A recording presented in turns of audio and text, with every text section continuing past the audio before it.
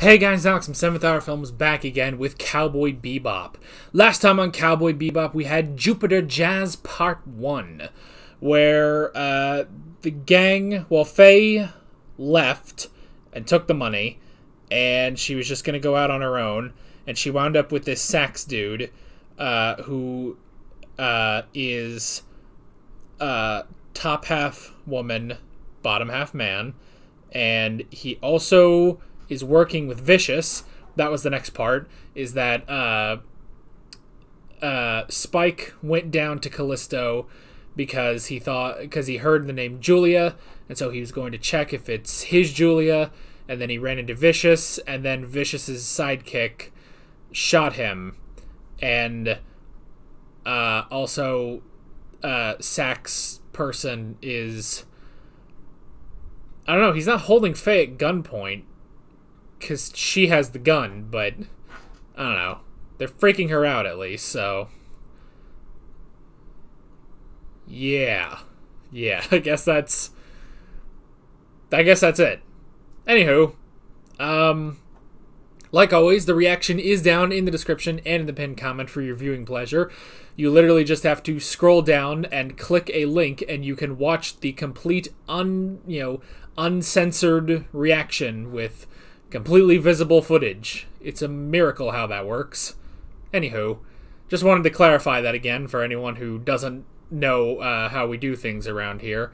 But yeah, just click that link and you can watch the reaction, and it'll be fun, I think, I hope. So, let's find out if it'll be fun as we get into this session of Cowboy Bebop. Here we go.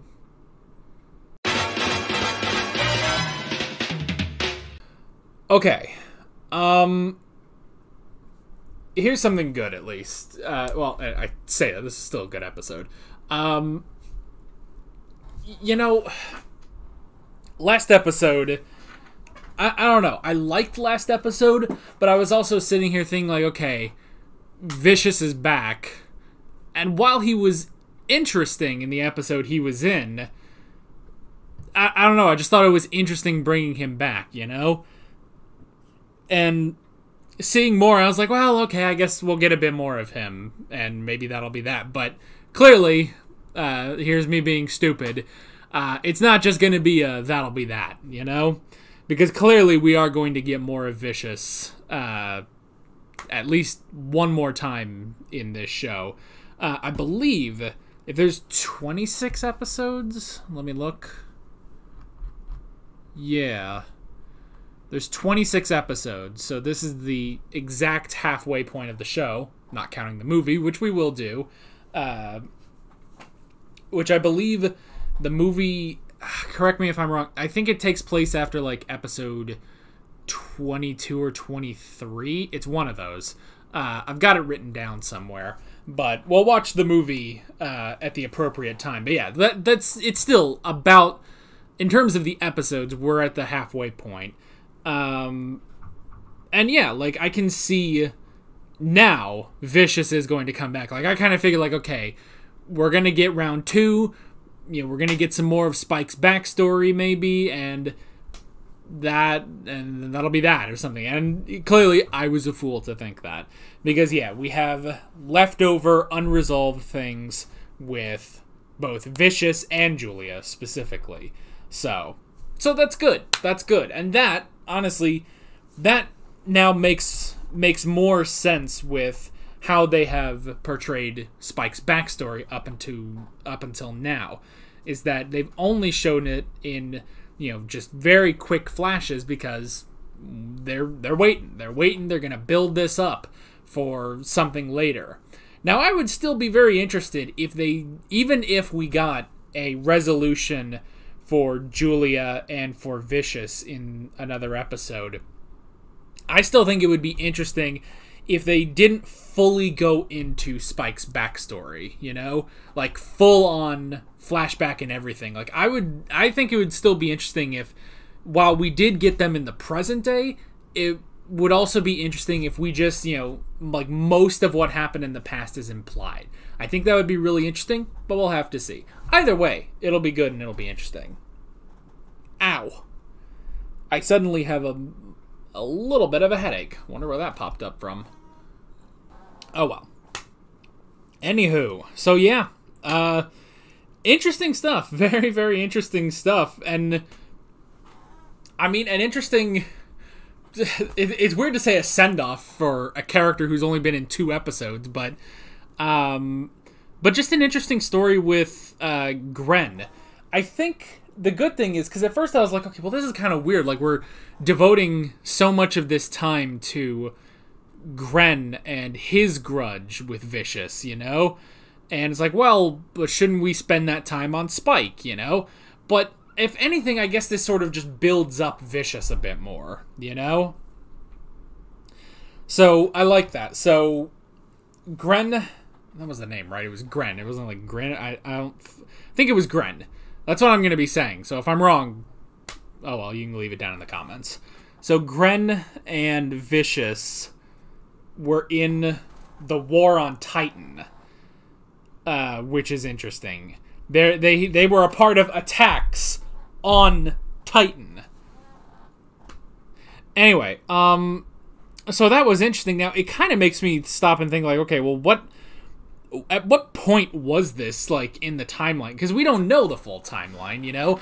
But I thought it was that Spike and Vicious were like part of a mafia or something and you know that's basically just you know that was it and they were partners you know and eventually there was deception betrayal and uh, something concerning julia which you know split them apart and uh, caused spike to uh, go go rogue basically until eventually he meets up with jet so at what point was vicious in the army and like, it, basically, all I'm asking is, was this before or after?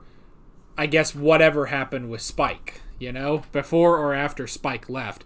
I would almost say, see, it, I guess it would make sense to be after, because yeah, they just sort of, you know, they grew up. Uh, they grew up. I think is what they implied is that they grew up together, sort of in this, I guess, mafia, if you want to call it that. Ugh so so yeah like maybe afterwards you know who knows maybe this mafia disbanded there's some i guess there is some reason too because vicious goes rogue too he goes and does his own thing for a while and eventually comes back and that's when he kills uh he kills the guy in uh he kills the guy in uh in episode five what's episode four um so yeah so like when I guess it, it would just make sense that he goes off after Spike leaves, after whatever happens to Julia happens. He goes off and I guess is part of the war on Titan, and that's where he meets Gren. But then afterwards, after the war, he gets Gren arrested for being a spy. And they give him all these drugs that give him boobies and and then Gren meets Julia and yeah, set something down, no problem.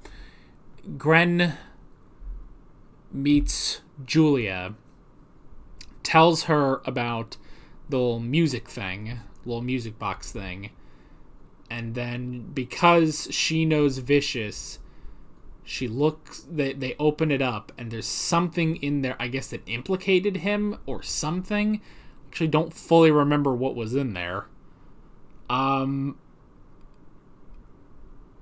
yeah and now he tried to get his revenge yeah i mean yes, essentially, I guess I don't need to get you know too bogged down in the details. It's basically you know something happened. There was the whole. Th- I mean, the, the like the most clear thing is that Vicious apparently testified against Gren, and that's how he got arrested. And he got the, the the drugs that messed up his hormones, and Gren wanted revenge.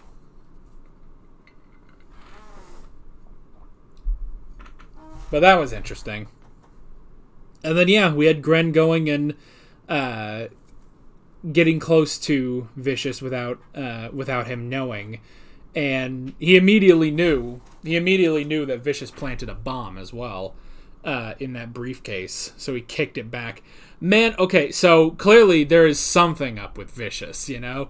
There is something different. I thought he was just a dude, but there has to be something specific about Vicious because this guy has survived two explosions, one of which was at like point blank. But this guy has survived like two explosions and he basically like dodges bullets, you know? Like there is something there's something more with Vicious, you know? Now, we have had in both this and in episode 5 we had flashes of this sort of like operating room and I guess it's implied that the person being operated on is Spike. So that's also part of it.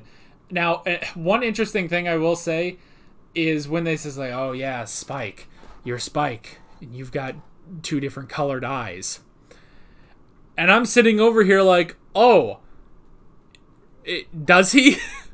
does he have two different colored eyes?" Because like they had a close up on on Spike, and I looked at his eyes when they said that, and I don't see a difference.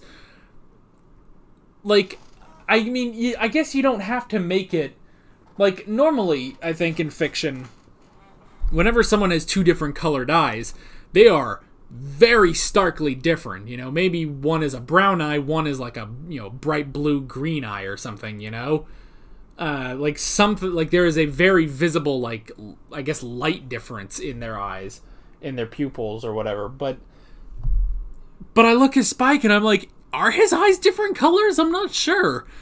And if they were, eh, like, was that supposed to be the case the whole time? Like, I don't know. I don't know if that's like an animation error or if like I I don't know. Like that, but that doesn't sound right because like if you know, Prism. I mean, I don't know if this is based on a manga. I mean, most anime are, but I don't know if this one is.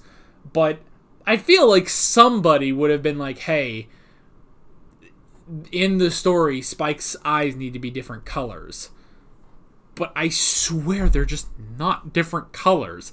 Maybe like the only thing I can think is, yeah, I'm sure they are like just slightly different but I swear I looked right at both of his eyes and I don't really see a difference between them, you know? So, but I think there's something. So, I guess that could also be part of the backstory. There's something with Vicious, there's something with Spike. For Spike, he got eyes, and for Vicious, he got superhuman feats of strength. And yet, Spike still kind of beat him anyway, so. Meh. Meh. Oh, I mean, there could uh, honestly there could be more stuff with Spike that we just don't know. I mean, we don't know. We don't know. We don't know who. We don't know anything about Julia. We don't know anything about their backstory. We don't. We literally don't know. You know. And neither do any of the characters, apart from them. You know, neither do any of the characters, because even when Faye is like, "Who's Julia?" and Jet just says, "I don't know." But it's she's someone who's got a hold on Spike that's it. Like even Jet doesn't know, you know? So yeah. But it's I mean, it's interesting and I'm glad at least like this time now I'm ending the episode knowing like okay, well we're going to get more, you know? And yeah, and that's something like again, in episode 5 I didn't really feel like that and last episode I was like I don't I don't know. Is this, you know, just going to be another one-off thing or I'm I'm not really sure, but now it's definitely guaranteed. Like, okay, this is going to be coming back. This is the sort of reoccurring thing in Cowboy Bebop is uh, is Spike and Vicious. So okay, I can get behind this, and I eagerly await when we get more of that. Um, we also had uh, was it Lin Lin dying? Uh, he ended up getting shot, and Vicious said something like, "Oh, he he died. He didn't die for me. He died for the order." So I, I assume it's uh, whatever the the the three really old dudes were last episode. I don't know. We'll have to see. Uh, we'll have to see when that comes back. Um, good dogfight, uh, good air fight. Like that was really good. I think that might be one of the best, uh, one of the best air fights we've had. Like that was really really good. Um, and then yeah, we had Gren dying, but wanting to be returned to Titan, uh, which was really interesting. And then yeah, bookending it with uh, the I guess the Titan natives or whatever uh, that the native tit- the native Titanians uh, and seeing oh that you know it's like oh it's a falling star and it's like well that's probably just Gren's ship you know but uh, but that was a good bookend especially because you know last episode you think oh maybe they're talking about Spike or something even though it seems you know obvious that he's not dead you just kind of think like oh wonder you know wonder what's happening there but it's actually about Gren which is interesting and again yeah for for a story about a new character that has a history with Vicious when we still don't know this history with Vicious that our own main character has. It's done very well, and it definitely in this episode, like I cared a lot more, basically, you know, and mainly I guess that was just because last episode I really wasn't sure where we were going with anything, you know, like aside from just a uh, you know a confrontation between Spike and Vicious, like it just I don't know. I wasn't sure what we were doing, but we got it. We got it. And I'm, again, curious to see where we're going uh, with this Spike Julia vicious storyline. Although, I would imagine next episode we're going to be pretty much back to basics. Uh, I'm sure that'll come back, you know, a little bit down the line. And who knows, maybe next episode will be an episode with Edward. We'll have to see. We will definitely have to see. Um, but yeah, that is basically it. With all that being said, I'm Alex from Seventh Hour Films, and I will see you guys next time. Take care. Alright guys, thanks for watching this video. There's a bunch of links on screen if you want to go click around to any of those. There's a playlist for all of my Cowboy Bebop reactions, as well as another video you can go click on if you want. There's also a subscribe button and a Patreon button on screen, as well as other links in the description if you want to go check out any of those. See you guys later.